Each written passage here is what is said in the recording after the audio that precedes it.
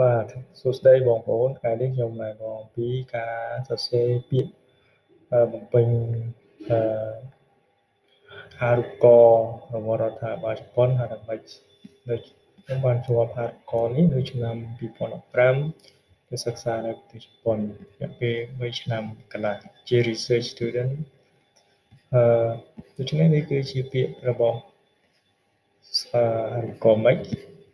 យើងបំពេញធម្មតាមានឈ្មោះជាភាសាជប៉ុនមានឈ្មោះអត់មានឈ្មោះជាភាសាខ្មែរភាសាជប៉ុនហើយអភាសាខ្មែរនិងភាសាអង់គ្លេសមានបំពេញធម្មតាបាទហើយកន្លែងយើងធ្វើការនៅកន្លែងណាចំណុចតទៀតពីកន្លែងខ្សែឋានហើយនឹងគេឲ្យយើងជា specialization study in the past តែថា ជំនាញដែលយើងបានសិក្សាពីមុនមកនោះជំនាញស្អីដែលសារខ្ញុំបានរៀនថ្នាក់អឺគ្រប់គ្រង research ជាថ្នាក់អនុបណ្ឌិតនៅចប់នៅសាកលវិទ្យាល័យ Kyushu University អញ្ចឹងខ្ញុំបានរៀបរាប់ថាខ្ញុំបានរៀននៅកណ្ដាពីឆ្នាំណាដល់ឆ្នាំណាហើយខ្ញុំបានចង់អឺខ្ញុំអឺនិយាយពី background របស់យើងពីមុនមកបាទ នេះគឺជា educational background បានថាយើងរៀបរាប់អំពីជីវប្រវត្តិនៃការសិក្សារបស់យើងពីអនុពី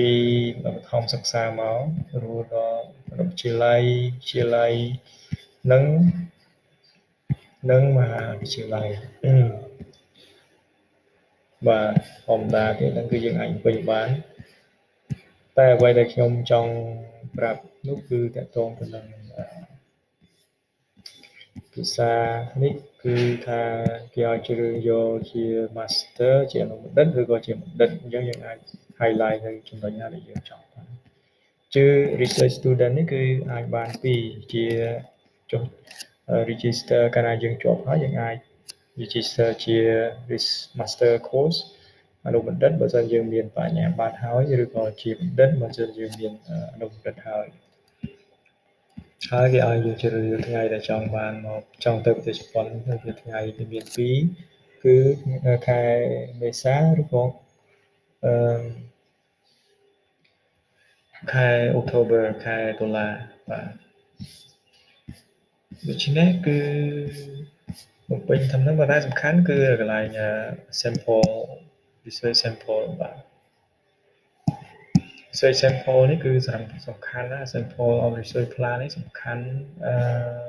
គឺយើងថាយើងទៅប្រទេសជប៉ុននេះយើងចង់សិក្សាពីអីហើយនេះបានយើងជឿទៅសិក្សាប្រទេសជប៉ុនហើយនេះក៏មិនសិក្សានៅប្រទេសផ្សេងហើយជំនាញដែលយើងទៅហ្នឹងហើយនេះបានប្រទេសជប៉ុនវាមានសក្តានុពលឬក៏វាពិសមជាមួយមុខជំនាញរបស់យើងហ្នឹងអញ្ចឹងយើងត្រូវសរសេរ